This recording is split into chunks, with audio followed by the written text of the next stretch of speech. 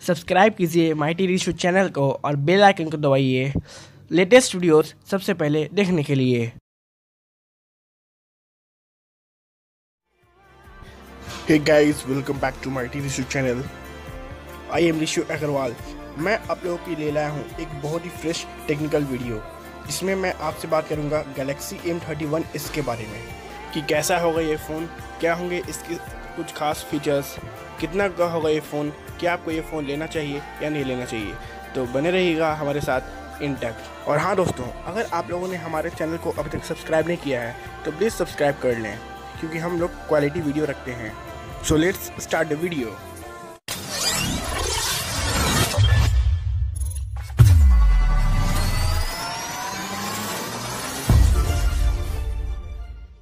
दोस्तों, Galaxy M31s 30 जुलाई को अमेज़न पर लॉन्च होगा। ये phone Galaxy M thirty one का सक्सेसर होगा।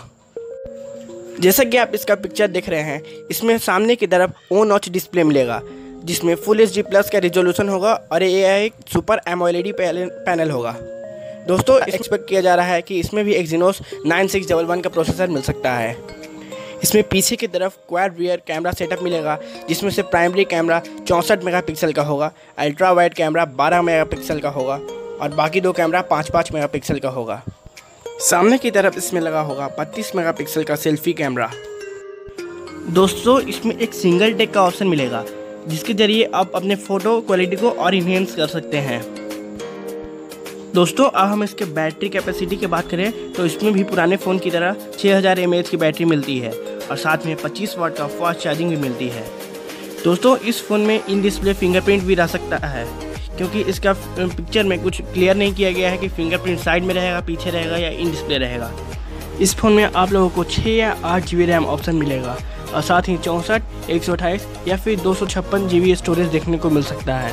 दोस्तों, इसमें प्रोसेसर वही पुराना वाला Exynos nine six one one देखने को मिल सकता है, जो कि परफॉर्मेंस में बहुत ही डिसेंट है। दोस्तों, अभी के लिए बस इतना ही। जब ये फ़ोन रिलीज़ होगा तो मैं इसका पूरा रिव्यू ज़रूर करूँगा। तो आप दोस्तों कमेंट में ज़रूर हमें बताएँ कि क्या आप इस फ़ोन में इंटरेस्टेड हैं या फिर नहीं, और इसके प्राइस क्या हो सकती है। तो दोस्तों, मिलते हैं अपने अगले वीडियो में। Till then bye bye